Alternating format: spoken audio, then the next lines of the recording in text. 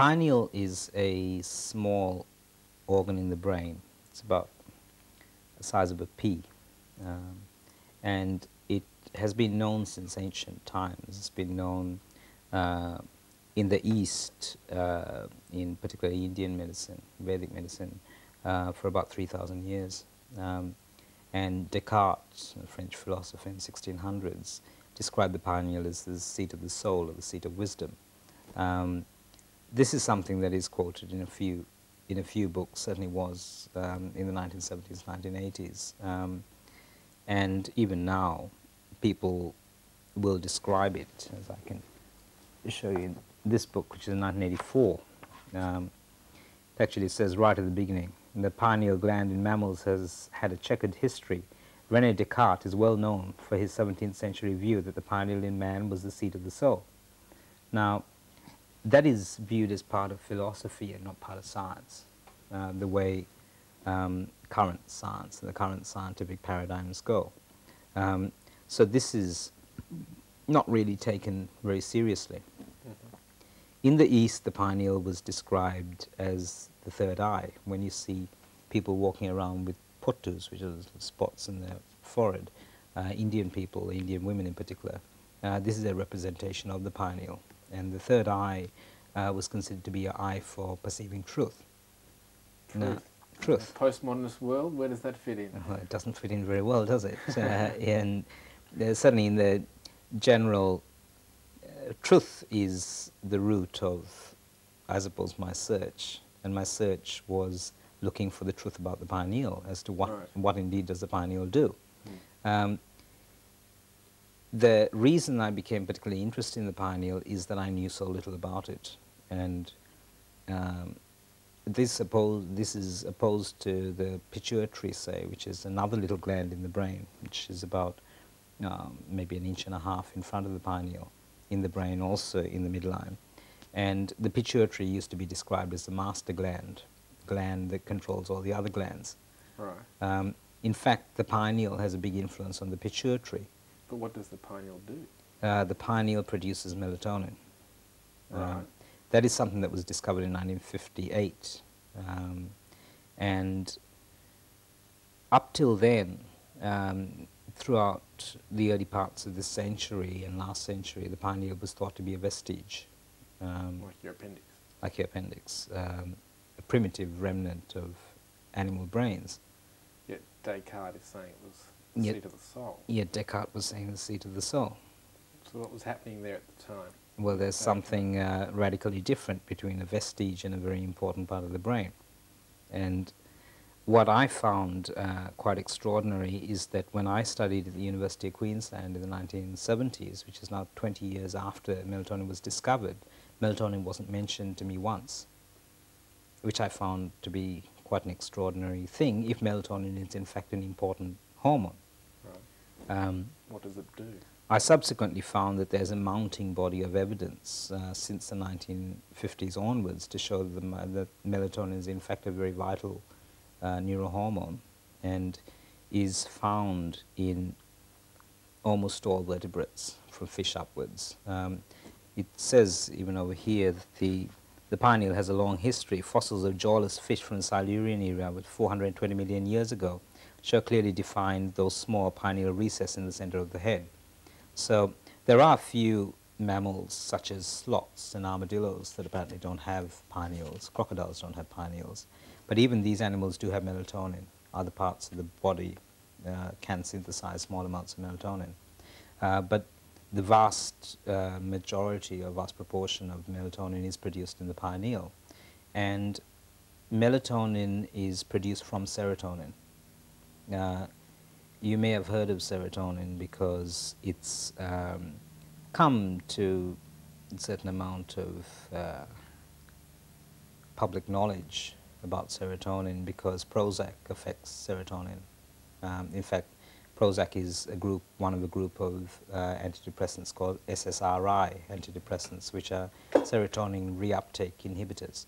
So they stop serotonin from being taken back up into the nerve endings, so serotonin levels will build up in areas of the brain.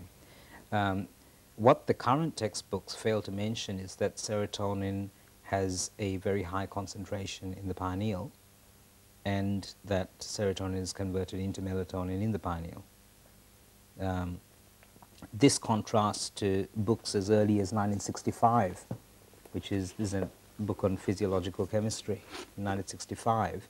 And this actually goes through the entire biosynthesis of melatonin. In 1965. This is 1965. So the idea that, um, so this is only six years after the discovery of melatonin in the first place. Right, and prior to that, for some three or four hundred years, it was considered vestigial or as a useless organ. Well, yes. I mean, uh, there weren't textbooks as such produced in the 1700s. Um, so how much was, certainly from the time of Descartes onwards, uh, I can't say that I have gone and read a whole lot of books from the 1700s to really know what was going on there. I do know that in the early part of the century or this century, in fact through most of this century, the pineal has been viewed as being vestigial. Um, so Is that because it's a very contentious argument for someone like Descartes to say that a particular organ in the body is the seat of the soul, when the definition of the soul is a very contentious issue in Western uh, psychology itself? I think that that has a, um, a bearing on it. Um, people talking about the soul, the conversations about the soul, um, were considered to be the premise of the church and not of science. Um, or theology at least. Likewise, um, questions about truth was considered to be part of epistemology and part of philosophy and not part of mainstream science again.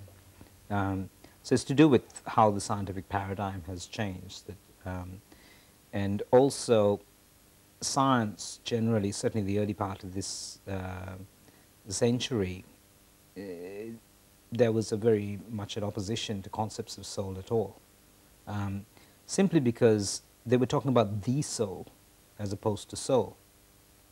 So rather than uh, spiritual values, they were talking about the spirit as if it was a kind of a, an entity that was supposed to be stored inside the pineal, which of course doesn't make any sense. Um, as to whether the pineal has some bearing or correct pineal function or healthy pineal function has some bearing on whether one perceives truth. Um, that's the sort of question that I was interested in looking at, which is, uh, it is a question of philosophy, but it's tied in with science as well, and scientific philosophy. And certainly, I think the philosophy of science is a very important, um, a very important area as to how much does science actually approach truth. Uh, especially as it relates to ethics and economics. What role has that played in the uh, amount of information about the pineal gland?